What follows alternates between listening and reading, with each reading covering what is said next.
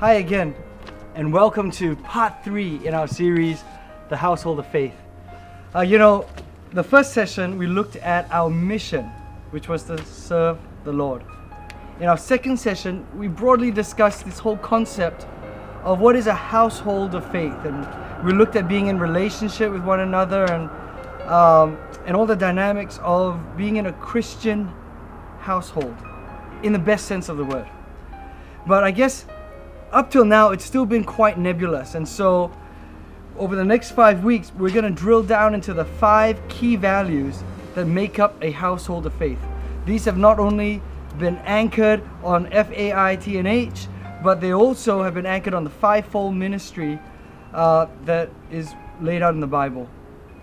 Today's letter is the letter F, and we're looking at faithful to the mission. You see, we're looking at how we serve, then one of the ways we need to serve the Lord is faithfully. Now, if I could be honest with you, for a long time, a very long time, I thought the word faithful was a very boring word.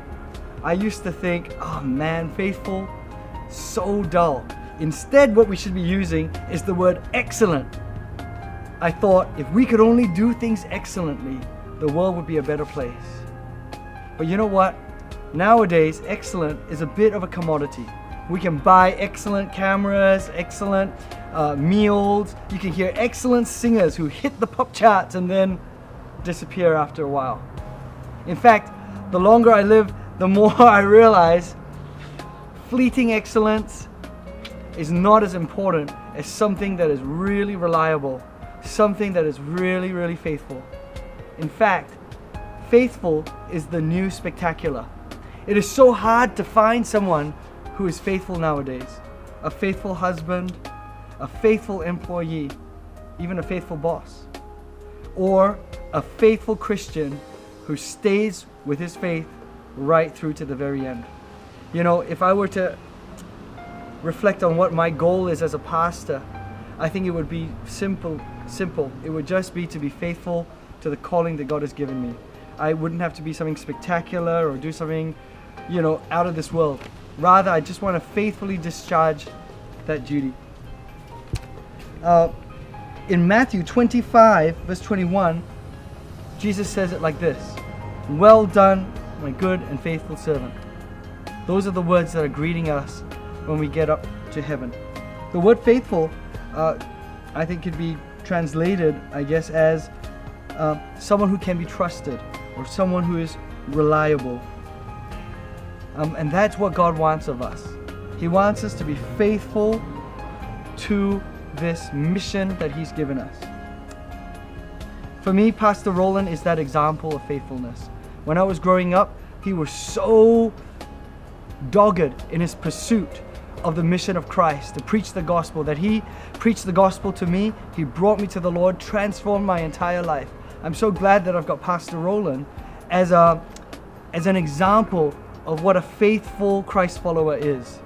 You know, for us, faithful maps onto the evangelist, and that's why we've got all this imagery of different cultures and clothes. That um, so that every time you're in your home and you look at clothes, you think, oh yeah, I'm supposed to be reaching out to the world.